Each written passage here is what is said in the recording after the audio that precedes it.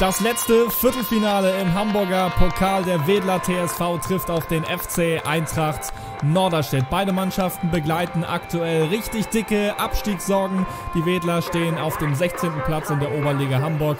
Die Norderstädter hingegen belegen Rang 15 in der Regionalliga Nord und wollen also nun die Saison über den Pokal retten. Der Pokalsieg ist in jedem Fall das auserkorene Ziel der Norderstädter. Dafür steht Sinisa Veselinovic, der Topstürmer der Eintracht, heute auf dem Platz. War lang verletzt, hat die Zeit sinnvoll genutzt, ein Werbespot für eine bekannte deutsche Brauerei gedreht. Jetzt wird er mit überwiegend Kurzeinsätzen wieder rangeführt, soll heute also für die Tore sorgen.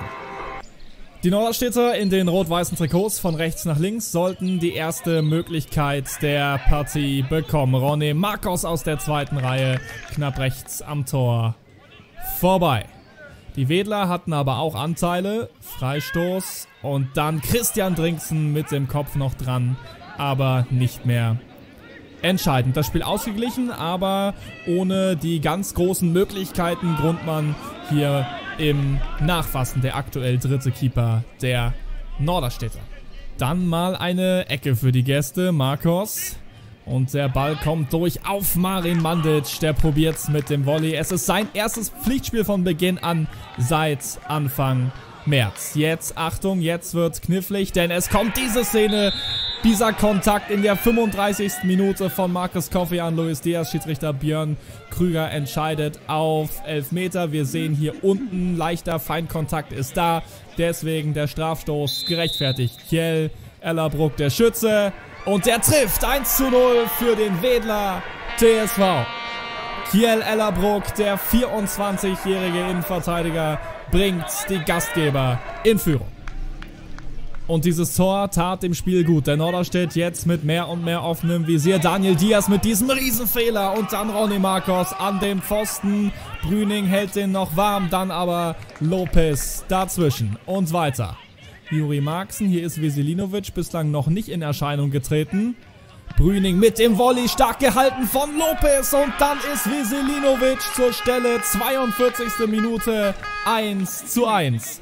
Sein letztes Pflichtspieltor datiert vom 7. Oktober 2018. Hier macht er den Ausgleich. Pausenstand 1 zu 1.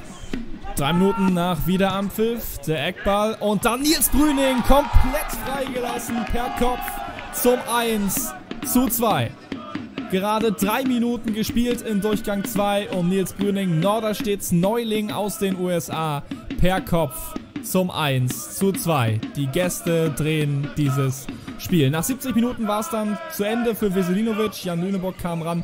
Er wird so langsam zu alter Stärke zurückgeführt. Jetzt aber Wedel nochmal. Grundmann rechtzeitig dazwischen. Guter Freistoß, aber keine Probleme für den ehemaligen Keeper von Altona 93. Dann aber nochmal Wedel und wieder ist Grundmann zur Stelle. Diesmal gegen Dirksen.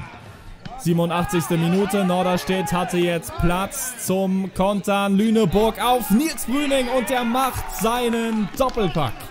87. Minute, ein Top-Neuzugang, belebt das Offensivspiel trotz des Abgangs von Felix Trinkhut. Schöner Angriff, zu Ende gespielt zum 1 zu 3. Der FC Eintracht Norderstedt gewinnt also beim Wedler TSV und damit lebt der Traum vom dritten Pokalsieg der Vereinsgeschichte. Die nächste Hürde heißt nun TuS Ostdorf am 19. April. Also der Sieg war ganz wichtig für uns. Es ist ein großes Ziel von uns, ähm, den Cup zu holen. Und deswegen war es sehr wichtig für uns. Klar, ist natürlich äh, gut auch mal wieder zu gewinnen. Das wollen wir gleich in die Liga mitnehmen. Ganz wichtige Spiele stehen da auch an. Und es tut jedem gut, dass wir auch mal wieder einen Sieg holen. Vielen Dank fürs Zuschauen. Wenn euch dieses Video gefallen hat, schenkt uns einen Like und kommentiert dieses Video. Um kein Video mehr zu verpassen, abonniert unseren Kanal oder ladet euch einfach die KickTV App herunter. Vielen Dank fürs Zuschauen.